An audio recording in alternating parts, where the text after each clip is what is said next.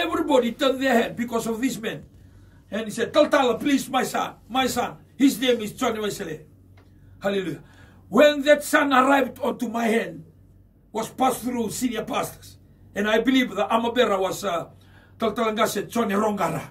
Yes, Taltalangase Johnny Rongara. When we hold on to the boy, he already out. He was already dead. Hallelujah. And when we check, the body turned to blue. And he was not breathing. I don't know for how long he was not breathing. How long he was dead. And what, what can you say? What can you do? Hallelujah. And I was closing my eyes to pray and I don't know what to say. Hallelujah. And the, the devil walked in my mind. You can't do anything. Don't pray. Here. It will be in the media back in Fiji. One small boy die in the hands of Taltalatu. What will the people say? What about the church? You, you know what I'm saying. Hallelujah. And I was standing there and the people were in quiet because we, we were praising. Hallelujah. So I turned to the to the praise and worship team and I told them, stop. And I told them, sing a worship song. During that worship song, then I speak in tongue because I don't know what to say. Hallelujah. Out of all my work as a Taltala, this is one of the challenging moments of my life. Hallelujah. My tears just roll because I don't know what to do. I don't know what to say. What will be the repercussions in the social media that Johnny Wesley died right in my head? Because people will not know when this boy was rushing to me. People will not know that.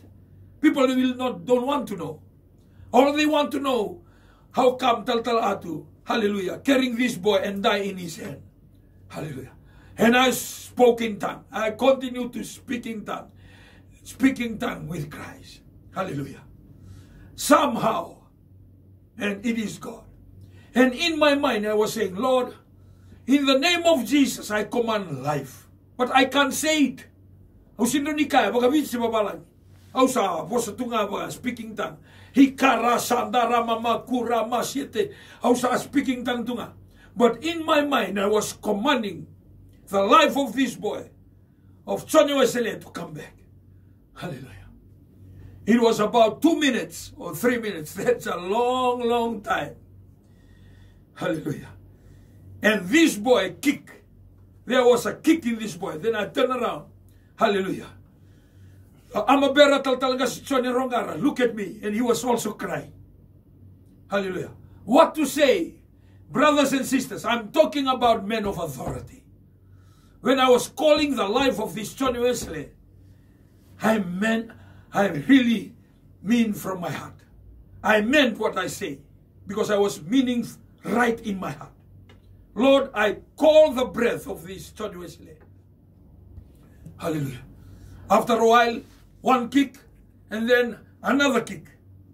And then I start to hear breathing again. Hallelujah. And everybody saw what I saw. The armor bearer just shout out, Hallelujah. He's alive. I'm sharing this because sometimes we hear the word of God and and we read the Bible, we think that only happened in the Bible. No.